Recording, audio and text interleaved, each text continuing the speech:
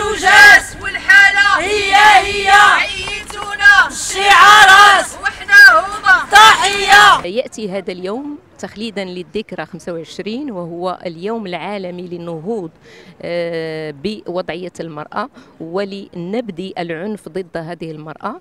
لقد آه، جعلت الجمعية آه، الجمعية العامة للأمم المتحدة هذا اليوم ك كدق ناقوس الخطر أو كإجراء إجراء احترازي للنهوض بوضعية المرأة وللتنديد بالعنف ضد المرأة.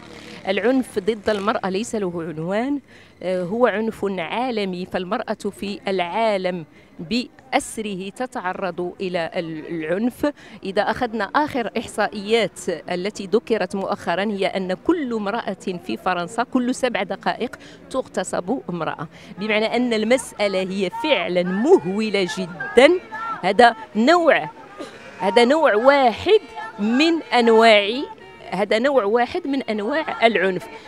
آه، ناهيك عن العنف الجسدي ناهيك عن العنف النفسي ناهيك عن التنمر الجنسي ناهيك عن مجموعة من من أشكال العنف التي تعاني منها المرأة. ديري في ديا والمساواة الفعلية لازم تكون ويا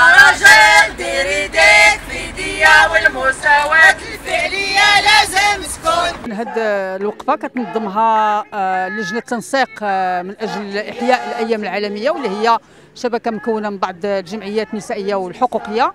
كتجيب مناسبة اليوم العالمي للقضاء آه، من أجل القضاء على العنف آه، الموجه للنساء هذا اليوم العالمي اللي من بين الأهداف ديالو الوقوف على الفظاعه ديال العنف اللي كيتعرضوا له النساء في مختلف أنحاء العالم. وحنا في المغرب طبعا من بين البلدان اللي كيستشري فيها العنف ضد النساء واللي يعني خدا إبعاد ولا أشكال. جد فظيعة في السنوات الأخيرة. آه، الأرقام مهولة فيما يخص عدد النساء اللي كيتعرضوا للعنف. آه، الأرقام الرسمية أيضا كتقول بأن ثلثي النساء معرضات للعنف في المغرب. كذلك يعني هناك غياب حماية قانونية للنساء في المغرب. القانون اللي صدر السنة الماضية غير كافي وغير قادر على حماية النساء من العنف ما كيتوفرش فيه الشروط اللي كتوضعها الأمم المتحدة الخاصة يعني بالقوانين آه، لحماية النساء من العنف. آه، كذلك ليس هناك أي إرادة سياسية في التحسيس بخطورة هذا العنف وفي نشر قيم المساواة والكرامة آه، المطلوب يعني نشرها في المجتمع كآلية لنشر لمواجهة ثقافة العنف ومواجهة القيم العنيفة تجاه المرأة بل هناك محاربه الجمعيات اللي كتشتغل آه، في مجال التوعية في مجال التربية على حقوق الإنسان.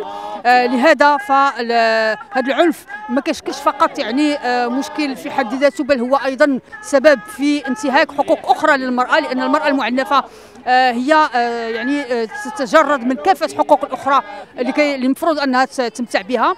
وبالتالي هذه مسؤولية ديال المجتمع المدني مسؤولية الحركة النسائية ولكن كذلك مسؤولية الدولة بالأساس لأن هي اللي مسؤولة على على يعني وضع تشريعات لحماية النساء من العنف هي المسؤولة على وضع سياسات ل آه، يعني آه، حماية النساء من العنف في المجتمع. ما تنساوش تابوناو في لاشين يوتيوب وتفعلوا الجرس باش يوصلكم الجديد أيام 24 عيونكم التي لا تنام.